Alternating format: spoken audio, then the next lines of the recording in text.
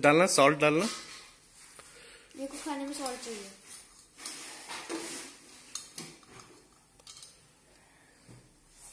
Tasty है? ठीक बना खाना? हाँ नहीं इसी में रख दो कप में रख दो ये।